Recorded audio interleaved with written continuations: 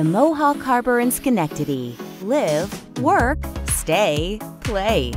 Live in one of our luxury apartments right on the harbor. Work in one of our newly constructed offices. Stay at one of our two brand new hotels. Play on the waterfront at the casino or dine on the harbor promenade.